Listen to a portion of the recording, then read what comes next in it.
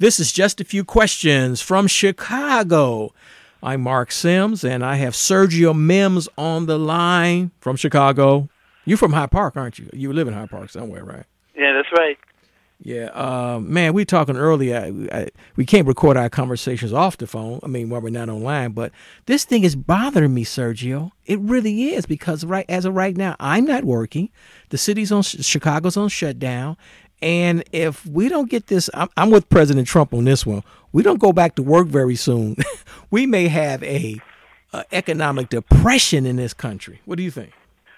Well, yes, that's true. If we're not in one already, which I think we are. Number two is uh, oh, not recession, depression. Week, Keep going. Yeah, I think starting next week, um, I think you're going to start seeing more and more people on the streets because this is America. You can't tell Americans what to do. You really can't. Uh, Americans don't like to be told what to do. Now, they'll go along with something as long as it's not inconvenient for them and they think that, you know, they're doing something good. But there's going to come a point in time where people are going to say, you know what, I'm tired of this. I got to go out. This is not Japan. This is not China. This is not Germany. You know, we're we're Americans. We like to do what we want to do, and I think it's going to be very very hard for any sort of stay in order to place. Now, I heard recently some talk that Pritzker, Governor Pritzker, will extend the uh, stay at home order for another week till April 14th. I even heard some rumors that he may extend it to uh, mid May. That's impossible. There's no way he can no do it. Well, way. he could do it. Yeah. No. But nobody's going to pay attention to it. No. Not eh, maybe in New York City, but uh, other parts of the country, and maybe in Chicago. No, you have riots in the streets because Right. pe- people they, they need some money. I don't know when I don't know how much money I'm going to get, and my little check from the government. I got to work on that to start getting that to, uh, tomorrow, and uh, it's not enough. It's just not No. enough. And right, and there's a disconnect. Right, he's a he's a multi-billionaire. He comes from one of the richest families in the country. Uh, Does he really understand? Now, let me say that I think he and uh, Mayor Lightfoot have really done an excellent job. You talking about uh, Governor Pritzker? considering the, the circumstances. You they have about- really done an You're talking about uh, uh, Governor J.B. Pritzker and Lori Lightfoot, the mayor of Chicago, governor of Illinois, right? Right. I, I think they have done an excellent job. But, you know, you can't push it.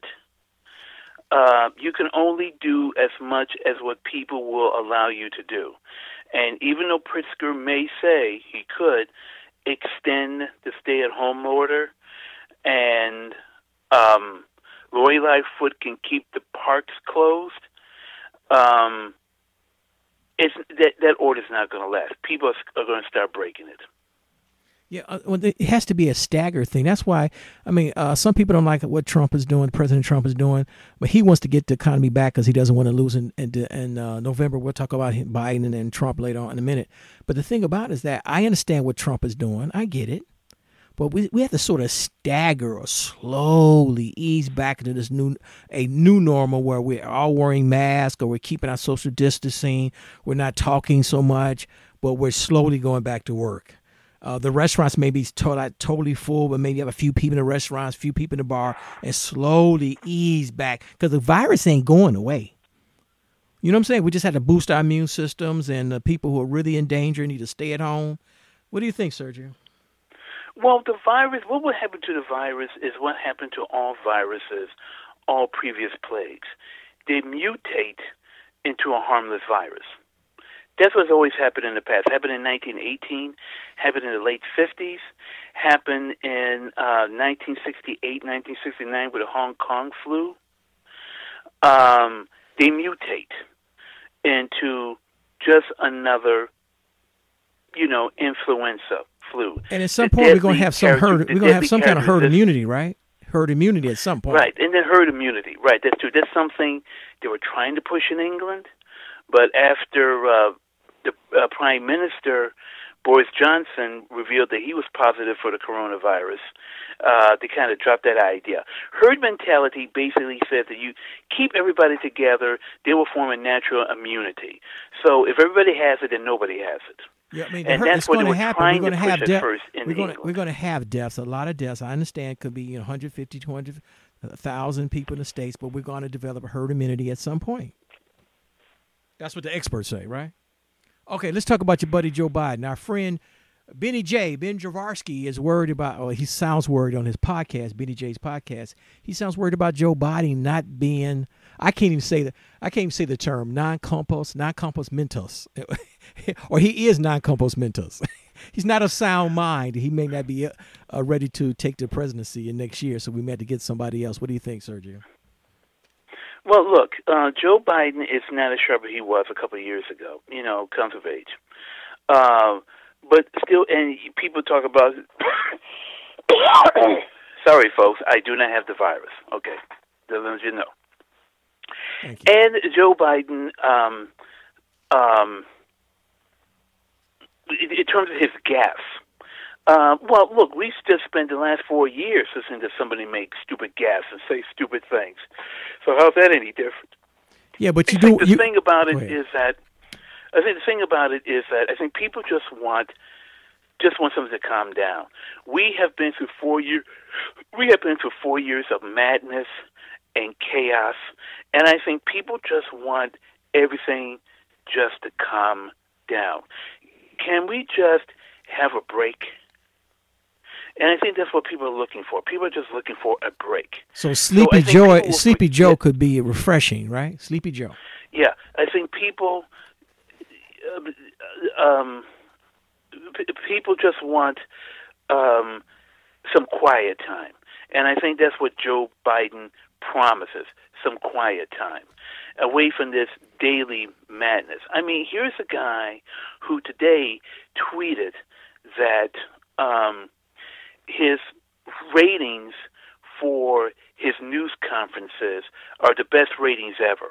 And I go like, what what kind of self-centered idiot that we have this crisis going on, and you're concerned about the ratings for your press conferences? It's ridiculous. Let- let's- you know, let's go- are- Let's go back to Joe Biden. I can talk about Trump forever. Uh, the key is that who he's going to pick for vice for vice president because vice president. Well. I keep he- changing my mind. but no, okay? but that I vice president could be become pre, could become president in about a year or two. Yeah, originally I said uh, my prediction. Well, I I I, I thought I, I said it would be great if he got Warren, but he's not going to pick Warren. My pick originally was Gretchen Wilmner, who is the mayor of Michigan mean, governor. and a big Biden supporter. Mean, governor, right? Then I switched and I said, you know what? Who would be a better choice? May be Tammy Duckworth, because she checks all your boxes. She's a woman of color. She's a moderate. She's on the Midwest. She's a wounded Iraq War veteran. But now I'm beginning to switch back to Wilner, basically because she and Trump have been at each other since this whole crisis began. Well, she's doing a lot of TV. She's doing her- a lot of TV. Wow, she's doing a lot Right. of TV. Well, how- I'm don't even know how to pronounce her name. It's Whit, Whitmer, right? Something like that, right? The Right, governor Whitmer. Whitner. Okay. Whit, Whitner, Okay, right? something like that. Trump already has a nickname for her. He calls her Half Whitner. Get it? Like half I wit. like a half wit. Yeah. So, but then, but you're thinking to yourself, oh, maybe that's what he needs. He needs someone who's tough, who can go up against Trump. Um, yeah, Tammy Duckworth would do it, but the more of Gretchen Whitner, Whitner, and the back and forth she's been going with Trump has made her, to, in my eyes, more attractive again. So maybe I'm leaning back to Gretchen Whitner, Whitner She, yeah. being his vice presidential candidate. Well, she's doing a lot of t- she's doing a lot of TV, but uh, if if Yeah. if uh, Joe Biden um, has uh you know some health issues uh, or doesn't do so well in the pri- in the uh, debates later this year, uh, you know you hear people crying for uh, for Governor Cuomo or Governor Pritzker to step in and take the nomination. Well, you know, here's the thing. It's too late now. But everybody's talking about, boy, if Andrew Cuomo was our presidential candidate. I mean, he would have been it would have been a lockstep. He's in.